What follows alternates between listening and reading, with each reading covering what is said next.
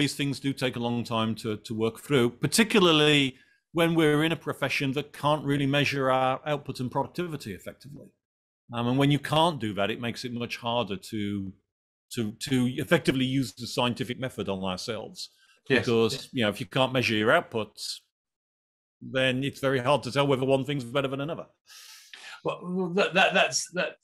So so so I I I thought that for a long time, uh, but I, I was I was somewhat impressed by the Dora metrics oh, yeah. and the use of stability and throughput as measures of efficiency and quality. What, what, what's what's your view on those? Oh, I'm a big fan of the Dora stuff. I mean, that's why I wrote, yeah. wrote the foreword to uh, um, Nicole and, and Jez's and uh, Gene's book. Mm-hmm. Um, I, I was I'm often very skeptical about these kind of about a lot of the kind of measurement studies that I see in academia um, because I because again it comes down to this: how do you measure your output, and are you uh-huh. even measuring the right thing? If someone says, "Oh yes, we get more function points done than somebody else," I go, "Well, yes. What does that mean?" Yeah. Um, a are you consistent able to consistently measure these function points of which you speak, and B does it actually matter? Because actually, I would rather write software with less function points that provides more value to the users and allows them to get their job done better. That's what yeah. matters. Um, so so many things have fallen apart based on that. What I liked about what Dora was doing was it really looked to try and correlate software development activities with business outcomes. Yes. And that was the kind of one of the fundamental ties in that says if we can correlate organizations that do well on the business level with some of the software practices that they do, then we feel we've got something that has a real value. Yeah. And yeah. initially, when Jez talked to me about it, I mean, when I, when I very first come across the Dora reports, I remember reading the Dora report and thinking, this feels like complete bullshit. But this is Jez. Jez doesn't do bullshit. So I need yeah. to talk to Jez and yeah. he needs to explain to me why this stuff isn't as bullshitty as it looks.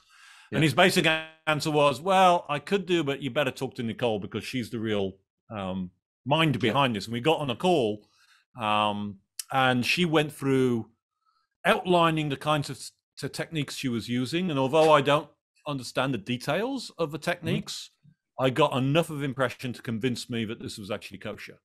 Yeah. Um, and at the heart of it, as I said, is this connection of business performance correlating to the technical techniques and then looking at how that correlation operates to begin to say, oh, okay, there's actually some causation involved in this.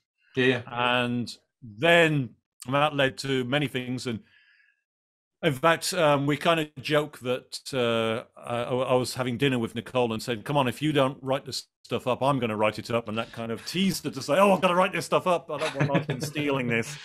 Um, and if that was true, I will happy to take the credit. And it led to the Accelerate book, which I think is such an important book. Yes, um, because it really does demonstrate very solidly the kinds of delivery practices that we argue about, argue for, yes, um, there's really good, solid data that says they are effective, and, and people yes. should be using them. Yeah, and profoundly so. As I, I, I think one of the things that trips us up as an industry very often is that I, I think our discipline is one that probably appeals to people with a, technical mindset, a, a, a, probably a science background of some kind, and, and so on, and, and a bent towards mathematics. I, I, that seems to me the kinds of minds that mm-hmm. enjoy solving problems in software. Um, and the problem there is that I, I think often we're looking to too much precision. And what we're talking about here is sociology, and sociology is not the same as physics. It's not it's right. not hard maths. You can't prove it. It's hard to carry out experiments with genuine controls. And so you have to take different techniques. But Nicole uh, has applied those techniques diligently. This is genuine science in the, mm. at least at the level of sociology, um, uh, and, and able to come, come up with this predictive model, this correlative model of, of the ways in which certain behaviors lead to certain outcomes, certain outcomes are predicted by by those behaviors and all, all, all, that kind of stuff. And that's a tool that we haven't had before, really, yeah. with, with, with the same level of rigor. Yeah, it's a, one of the few cases when I've looked at something and it hasn't fell apart sort of within five minutes of serious yeah. examination.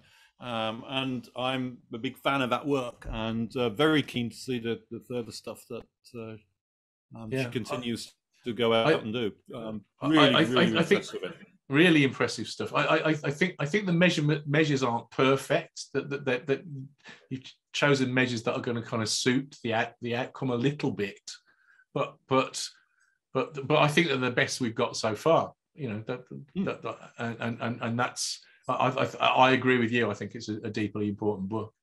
And we certainly push our clients to try and pay attention to the four key metrics. And yeah. um, I mean, and they aren't perfect partly because they focus on the delivery part, which is, is once you've written the code, getting into yeah.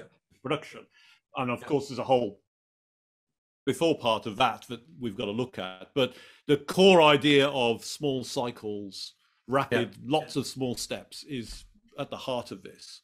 Absolutely. And, um, that's always been something that we've been uh, big fans, of course. You know, do small things, set up feedback loops, um, operate from there. This clip was taken from my podcast, The Engineering Room with Dave Farley, a monthly podcast with some of the brightest minds in software engineering. You can find full episodes on all your favourite podcast platforms, including Spotify, Apple Podcasts, and Amazon Music. Your support helps us to bring you these regular episodes, so please leave your positive review on your preferred podcast platform to help us to continue to grow and bring you great guests and their insights. Thank you very much for listening.